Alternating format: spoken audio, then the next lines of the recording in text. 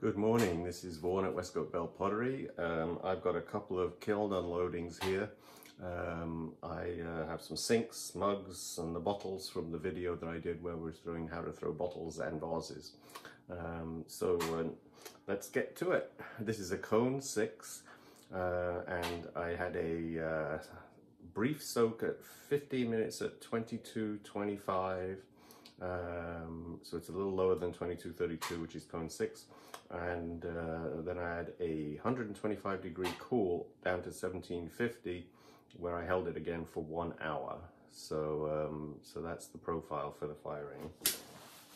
Okay, so the first one is a sink, and it's the copper bronze glaze that I call. It's in the Mastering Cone 6 glaze. It's a beautiful glaze, but you can't use it on food items. So I use it on sinks, vases and things like that. But uh, anyway, that's a beauty. Then of course we have lots of mugs. I have an order for 48 coffee mugs for a local coffee shop. Um, I should put these around here so you can continue to see them a little bit. Oh, I got to lower you down too. Let's see, that looks to be about right. Okay, so, all right, so here you go. Tenmoku Gold with an oatmeal over the top. It always runs a little bit by the handle if you're not careful. It's, this is the glaze I've kind of mastered myself in the, the use of this because it always looks like this. Again, this is the glaze you'll see on the internet called Seafoam. Um, and it always cracks the white clay which is what I used on this piece. Um, and there's a dunting crack right there. It means that the, the glaze has way too much shrinkage rate uh, for the clay body when it does that. So there's a problem. But I think uh, I don't want to use this on the inside. I like to use a liner glaze. Um, so I've got to figure out what to do with that glaze. I'll, I'll research how to reduce the shrinkage rate of it. So, um, This is a glaze that I actually uh, always get to work as well with my creamy oatmeal and uh, my apple green over the top, which is a rutile green. You can tell because there's the iron in the rutile as well as the copper oxide. Uh, no, it's copper carbonate in that glaze. But it always does this. It's very predictable.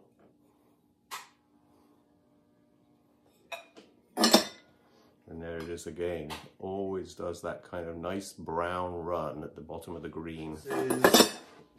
the glaze is called licorice in Mastering Cone 6 glazes.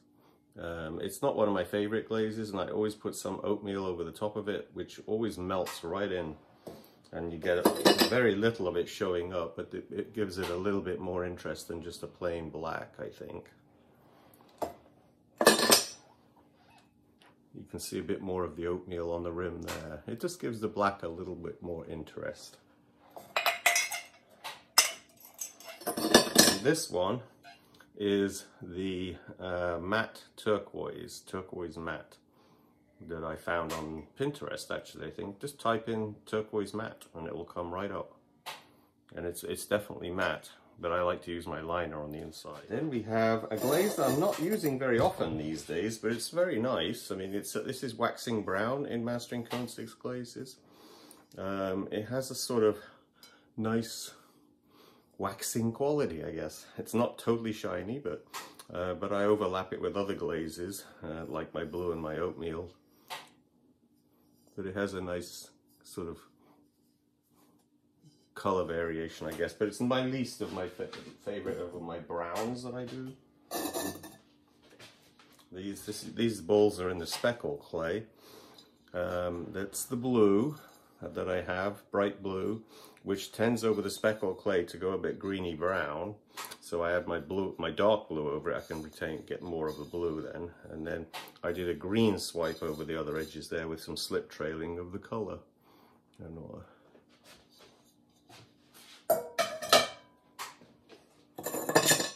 And all. we've got more of these mugs. Oatmeal with the apple green over. Oh, another seafoam. Let's see what this one did. Yep, there's a crack in this one too. Very, you can hardly see it, but uh, you just can't use the seafoam uh, with that liner glaze, I guess. That may be the key, just, but I don't want to use this glaze on the inside of the piece either. So, a basic test you can do in your studio. If you've got a glaze, you can put some, uh, a, a slice of lemon on the glaze, leave it for 24 hours, um, and uh, then basically just lift up the slice of lemon, wipe the plate off. If you can see the ring of the lemon like etched into the glaze, you know the glaze is not food safe. This is Tenmoku Gold again. Without the fluting, it actually doesn't have those runs down.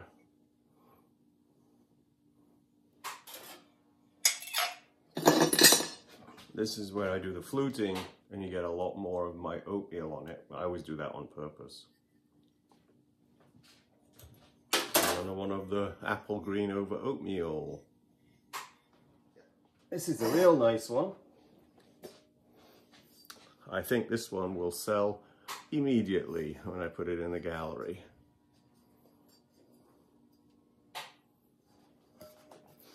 These are very small sinks, about 13 and a half inches across, so they're meant for powder rooms. And this one I sell, this one will be like 225 Canadian dollars.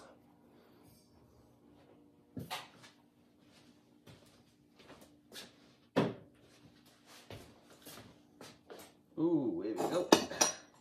Ah, this is interesting. This is my dark blue. I didn't, I must have dipped it less than normal because it's a lot lighter, but the fluting on it is very nice the way it shows up. And I had, I'm not sure what I did over the top. I got my oatmeal on the bottom, but on the top I had another dip of something else, and I'm not sure what it was. I think it was just another dip of my blue, but um, maybe I did the green over there because it looks a bit green. This is my apple green over the turquoise. Hard to know. That one doesn't look like it cracked. Um, but it could be the matte turquoise. But look how much it ran. So I'll have a lot of grinding on that one to do. I bet it sits level, but but, um, but these are the waxing brown. I've always liked the variegated blue in that book with waxing brown. It always looks nice. And that's what those two are.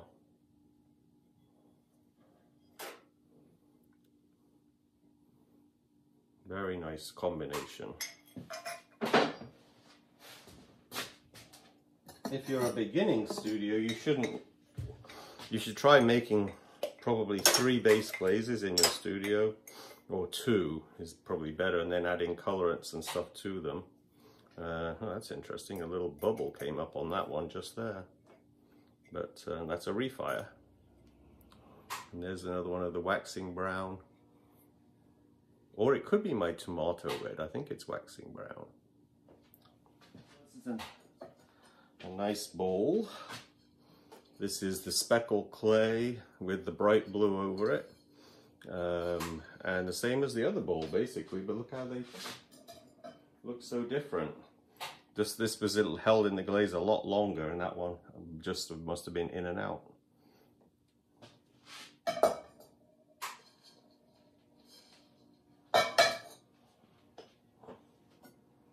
This is my dark green glaze.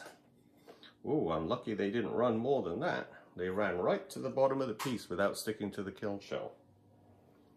That was a bat washed kiln shelf too. But look at that, right to the bottom on both of them. So that was like only a 15 minute soak too. But, uh, but it's a dark green glaze. I really like it. It's double the amount of green basically. No rutile in the, in the glaze, but just uh, copper carbonate. I can't remember the percentage, but I've always liked that dark green. And now it's a whole bunch of pieces that ran. The dark green, I'll have to knock this off. I don't know if I could do that quickly. Quite often you just have to tap it and the stilt will come right off. But I've got grinding to do on these. So I've got to remember that combination doesn't work very well. It runs too much. And that's, I think, my dark green and my uh, apple green glazed over the top of each other. And they all ran. So I got to do some work on those. Oh, one of them didn't run. wonder what the difference is. Just have to remember not to glaze very far down because you can get away with it.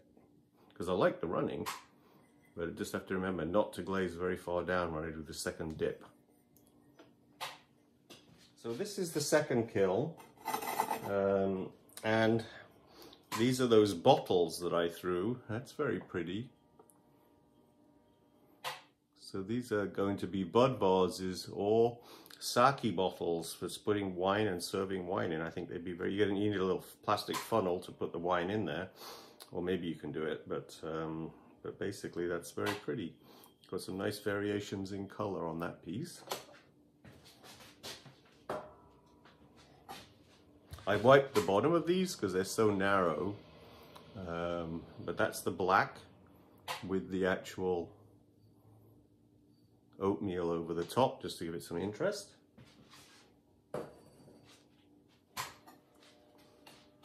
This is my dark blue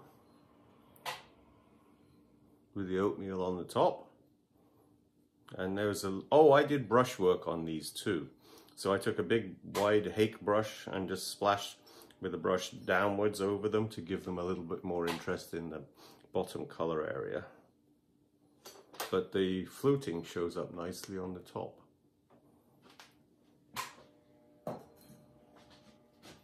I tried a very simple variation on this and that's nice. This is my white glaze with the gray glaze over the top.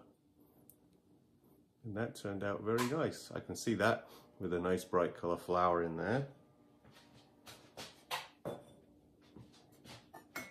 And there's my usual Tenmoku Gold with the oatmeal. That always looks good.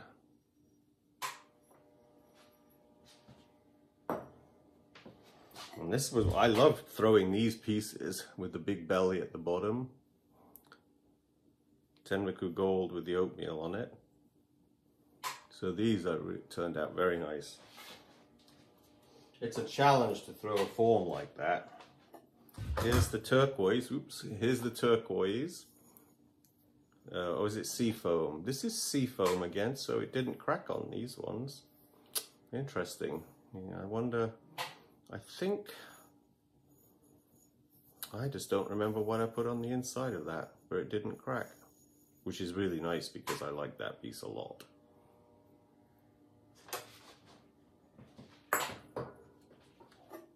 I'll put some photographs at the end of the video showing these. That's my apple green, just straight on its own. Nice apple color green?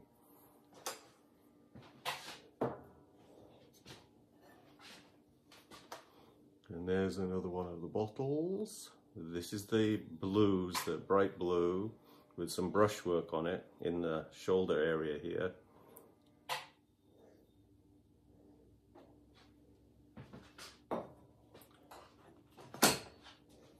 variegated blue with oatmeal on the top and some brushwork with the other blue.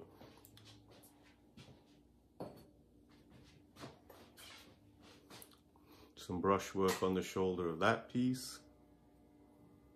But this is my, I wonder what grey glaze that is. It's sort of a green, don't remember what base glaze that is.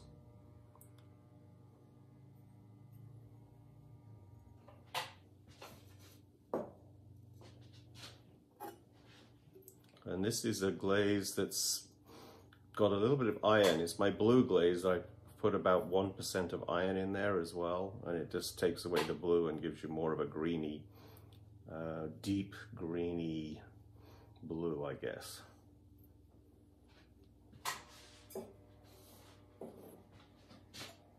And then we've got a whole bunch of coffee mugs that have been dipped in two or three glazes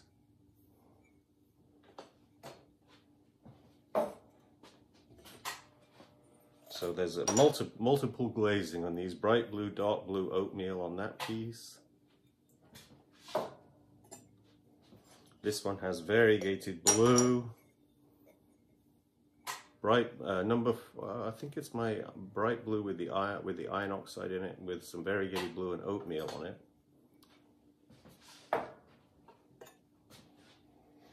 And this one is the variegated blue, which always runs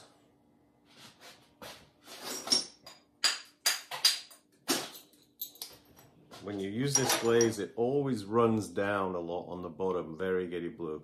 I dipped it in a long time, 10 seconds, uh, just to try, because it always does this beautiful color when you do that, because it runs, but you always end up grinding a little bit on the bottom. If they sit level, I don't see why you have to grind. And same with this one, so I'll have to grind the stilt off as well, which means I've lost the stilt. That glaze is a glaze that's so beautiful that you kind of think, well, how can I perfect this? But every time I do it, there's always the running.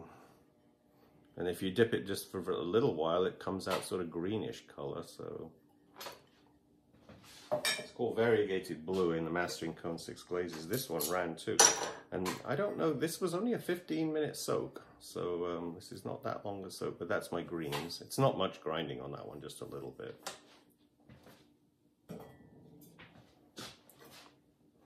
But they're all the same. I'm going to have to lose the stilt on them. The greens are the ones that are running the most by the look of it. Yeah, every one of them. Got some grinding. Okay, here's another copper bronze sink. And that's a beauty too.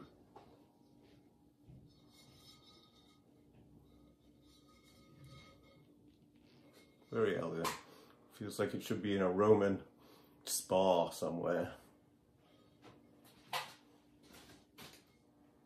See if I can get you a bit closer. So there we go.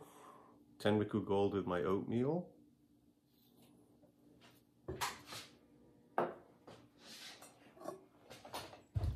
This is the one that's called Mouse Brown. With a dip of oatmeal over it, I think. None of these are running at all, so.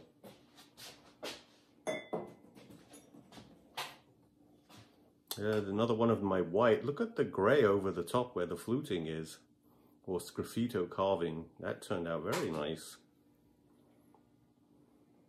That's actually what I was looking for. When I was doing the fluting, I was hoping that that would create marks in. That's a very pretty little bud vase. Oh, it's the oatmeal clay with my uh, oatmeal glaze and the mouse brown gray over the top.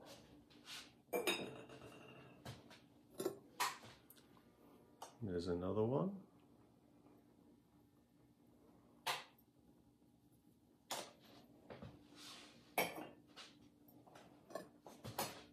We've got the black again. The oatmeal is soaked into the black completely. If you underfire this black, you can make the oatmeal stand out a bit more. And I do actually do a cone four firing with some of my pieces uh, where I use a clear glaze that I could throw some of these in and they would look totally different.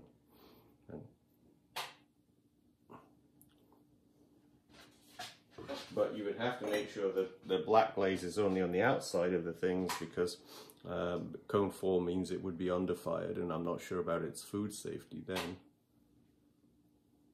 So I have a, a clear glaze that's perfect for cone 4.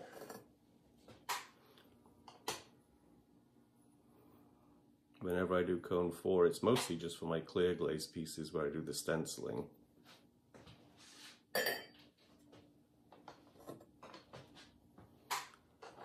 Really pretty little bud vases. It's that time of year.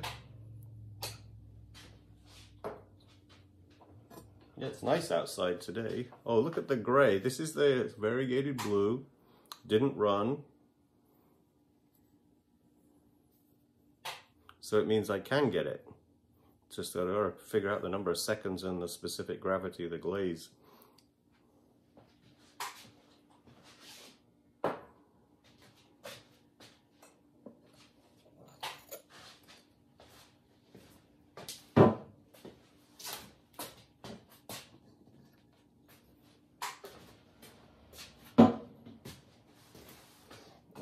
Last one.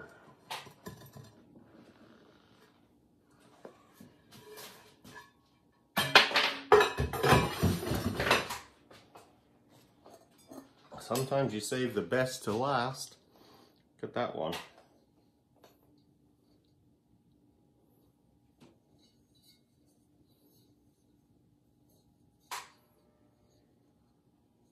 Very pretty.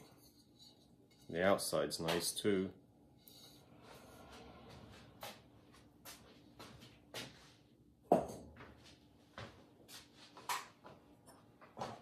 Another seafoam mug. Is it cracked?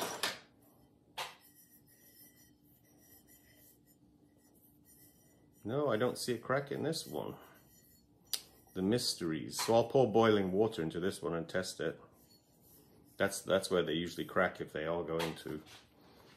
If you think you have a glaze problem, you should always pour boiling water in your piece before you sell it. Tenmoku Gold, look at that little down there. Isn't that pretty? I wonder how I did that. That's a total one of a kind. Yeah, they usually look like this. a little run there. I'll have to grind that one off.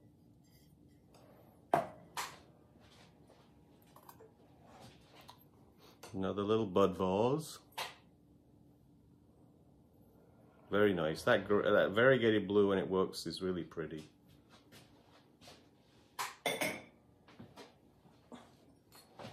This is my turquoise with my oatmeal over the top. That's a summer color.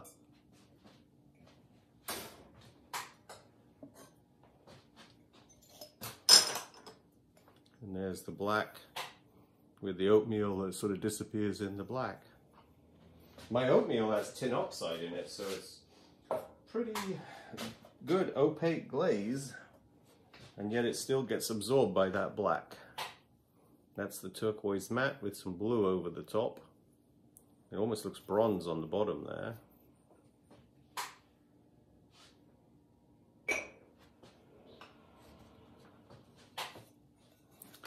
Another one. I wonder if this, I'm not sure if that has a crack or not. Yep, that one has a crack too. So I was going to say, because this seafoam glaze, I would say it's cracking 90% of the pieces.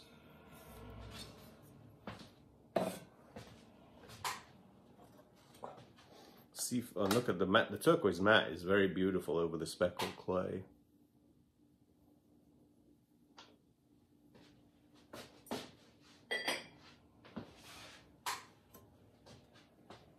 And some more with the variegated blue so we're definitely going to have to skip doing that glaze too much it. Works over I think because I added the dark blue over it um, and that's what you get how you get those speckles and that's when it makes it run. We might have to fire these upside down again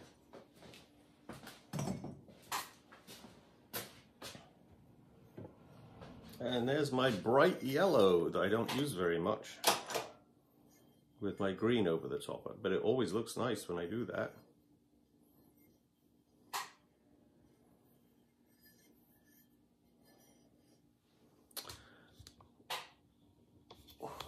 Okay, so that was two cones, six firings, 22, 25 problems with variegated blue and my apple green when I double dip them, the variegated blue with the dark blue over the top, it's causing a lot of running.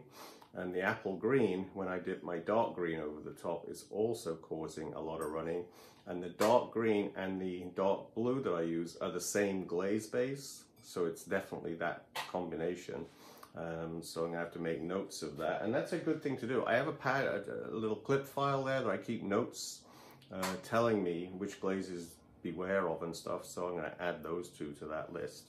All right, so this is Westcote Bell Pottery in La Nova Scotia saying stay safe and take care of yourselves. Bye.